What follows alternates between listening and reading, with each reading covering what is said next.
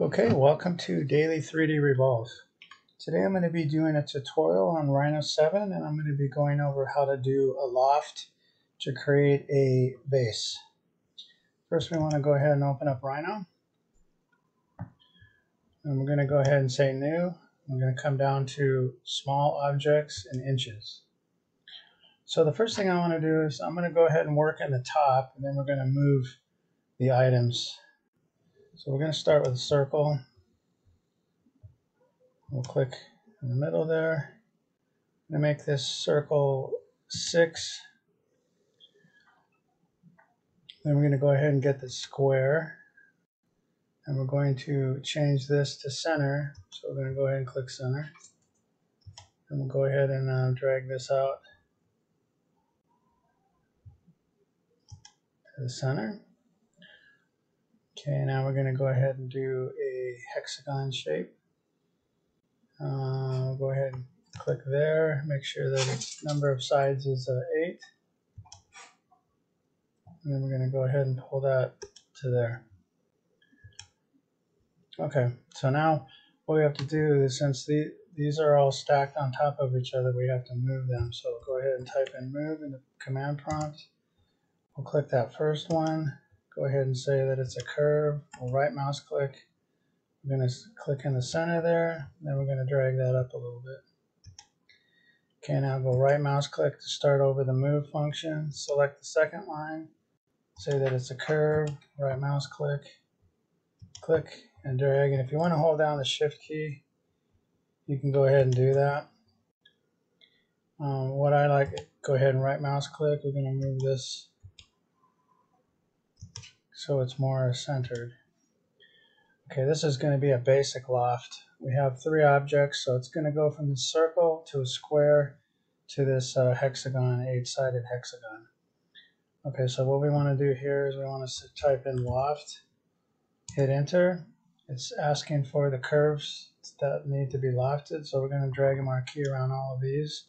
We're going to right mouse click button, it's telling you the direction that's going to go. Then we're going to hit enter. Now we have this, uh, we'll go ahead and view and uh, change the view here to rendered. Now we have this kind of a, a little uh, base here. Now um, to close it, we just want to say cap.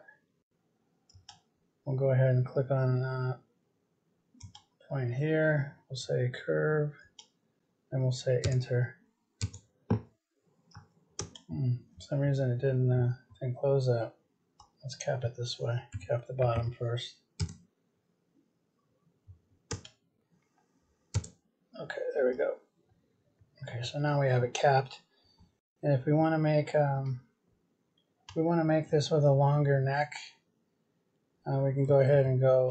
Let's go undo to this. We'll drag this down. We're going to put this we're going to move, so go ahead and type in move in your command prompt. I'm going to go click there, right mouse click, go from,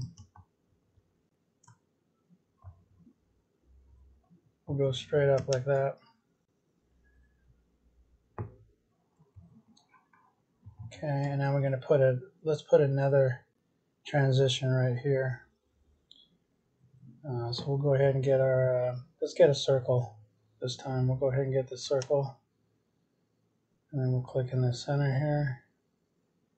Let's turn off our endpoint snaps, put on the uh, center one. Undo. Let's go mid to get our circle.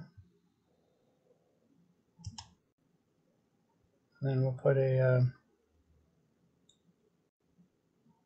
transition in there. Now I'm going to go ahead and type in move.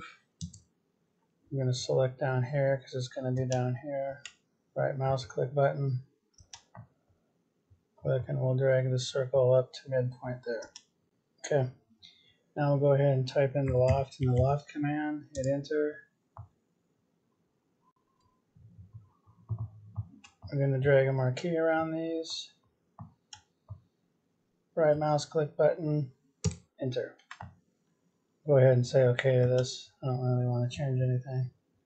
Okay, now we have more of a of a twisted curved base. so what we're going to do now is just hit the cap to close it. I'll click on this, hit enter. Now we're going to go ahead and uh, put a uh, texture on this. So go ahead and hit the plus, go to the library. We'll go put metal in there. We'll do a satin metal and we'll do a blue anodized aluminum. And we're going to go ahead and click over here. And now we have this little little base with an interesting twist in it. So now we're going to shell this. So go ahead and type in shell. We want the shell thickness to be 0.125, so we're going to change that. Type in 0.125, hit enter. I'm going to click on the top there, and then we're going to hit enter. Takes a little bit. Okay, now the vase is shelled. So that's a simple way to do a loft with about four objects. Um, you can do a real simple one. I'll go ahead and show you if you want to just use circles. You could go ahead and get your circle tool. Let's go from the middle. You could start off with a six and a half base. Then you could do another one in the middle. That's that's nine.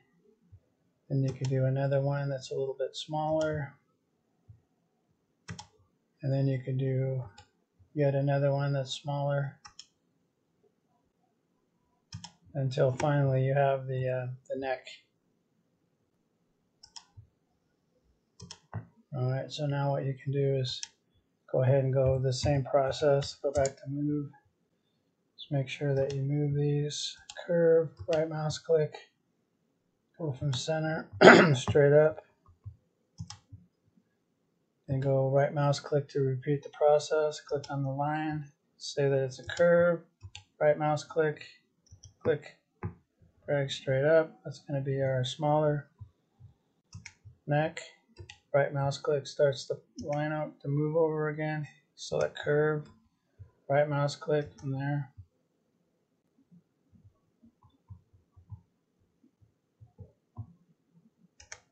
Okay, go right mouse click, select the line, curve, right mouse click, go from the center.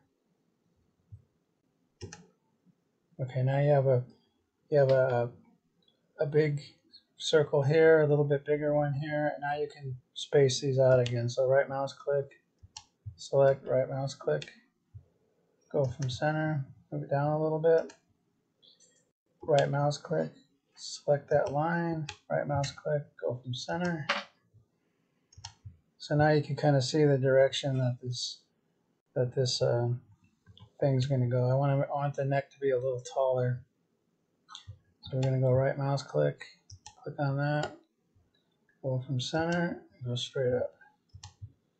Okay, one of the circles got thrown off, so we'll go ahead and move that. So go ahead and right mouse click, select the circle, right mouse click, we'll go from center back to the center. So now they're where they're supposed to be. Okay, so now we're going to go ahead and type in our loft. This is a little bit simpler loft with all same uh, circles instead of uh, mixing it up. Right mouse click, enter. And then we'll go ahead and say OK. Oh, you know, it missed that top one there. So let's undo that. Uh, go ahead and type in zoom in the window here. Zoom dynamic. And we're going to come shrink that down a little bit. Okay. Now we're going to type move in the command prompt. We're going to, um, actually, we can leave that like that. Go ahead and get your pointer tool. Type in loft. Enter. Go ahead and select all these points. Right mouse click, enter. Then hit OK. All right, so this is a little lofted bowl. The only other thing we want to do is cap it, so we'll go ahead and type cap in the command prompt. So click on the bottom, hit enter. Now we have a capped uh, bowl. We're going to go ahead and click and add this anodized plastic to it. We'll go ahead and type zoom in the command prompt. We'll zoom dynamic, click and minus to drag out. Go ahead and click on the pointer tool. So now we have a nice little vase here. And then uh, we'll go ahead and shell this. It'll be the last thing we do here. Enter. Thickness of uh, 0.125. We'll go ahead and click on the top and hit enter.